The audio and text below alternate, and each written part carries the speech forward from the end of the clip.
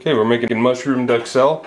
We've got uh, three tins of mushrooms. Uh, we used uh, portobellas, baby portobellas, and some shiitakes, but you can use any types of mushrooms you like. What you're looking for is basically a paste. We're going to take that paste and then get the water out of it by boiling it in a pan. First off, you want to take your mushrooms and quarter them up. And once you have them quartered, you want to go ahead and add them to your chopper. So we've got this one already full. Go ahead and pulse on low and you get a fine chop. You don't want a, total paste here. You want some body left in the mushrooms. So about 10 or 12 pulses that'll do.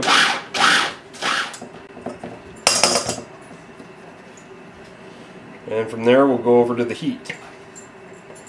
Okay, okay so we're going to go ahead and take our mushroom mixture and put it in a pan and uh, wait until the water comes out of it and then we'll proceed on with the white wine and then the cream. As soon as that quits bubbling we'll proceed with a cup of white wine until the white wine evaporates, then another cup of white wine until that evaporates, and then followed by two cups of cream, one at a time until they evaporate. At that point we'll stop and let it cool and uh, we'll use it uh, in our beef wellington. it's time to add the wine, so any dry white wine you like, we're going to go ahead and add a cup and stir it in and then reduce it back down to that same stage. So about another 10 minutes on medium-high heat. Alright, we're about ready for our second cup of cream. But before we do that, as you'll notice, we've turned the heat down quite a bit. Now we've already had our first cup of cream in here, and you can see that it's still boiling away a little bit, but it has dried out significantly. But the reason for the lower heat is because the cream will burn much more readily than the wine will.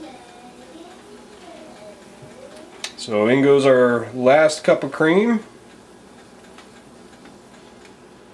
And again, this isn't something you want to walk away from at this point because uh, cream, being a dairy product, will burn on you. So watch your heat, keep it stirred, and of course, uh, you don't want to stir too much because it does need to reduce on you. So. And this is our uh, last step. Of course, we'll let it cool on a plate and then put it in the fridge uh, for use in our beef Wellington a little bit later. Get the pan nice and hot, add a little olive oil,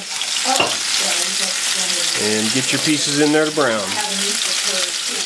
We're taking three slices of our Parma ham, sliced very thinly as you can see, window pane, overlapping them by about oh, half an inch or so, just to make sure we've got good coverage. And of course, when you go and buy your Parma ham, you want to make sure that it comes off a nice big piece, that way you get a nice long length that will allow you enough room to wrap your beef uh, tenderloin in.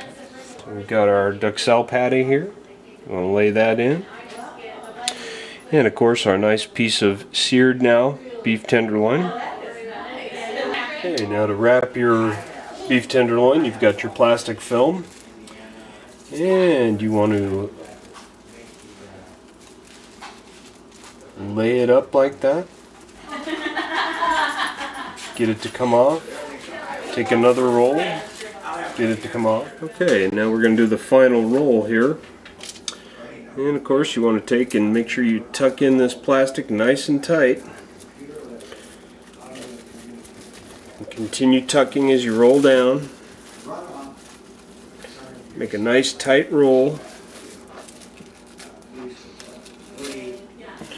And at the very end we're going to twist the outside edges. And this will make a nice round roll that will be easily wrapped in your pastry dough. Okay, we're going to finish up wrapping our, uh, our beef Wellington. Of course, we've already got it wrapped in the Parma ham with the mushroom duxelle, and we're on to the final step. This is the puff pastry. We've got our cooled and chilled uh, beef tenderloin there, getting wrapped in the puff pastry Of course you want to have an egg wash there.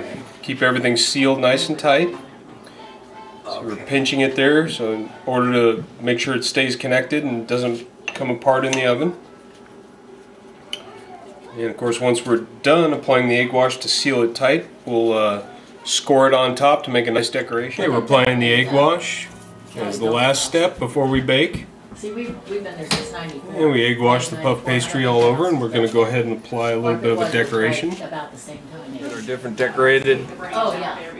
Neither one knew exactly. what fillets of beef going in. It's a beef Wellington. We've got uh, 40 minutes in there until your internal temperature reads 130 degrees. Take them out, rest them. They should be golden brown and delicious. And uh, eat and enjoy.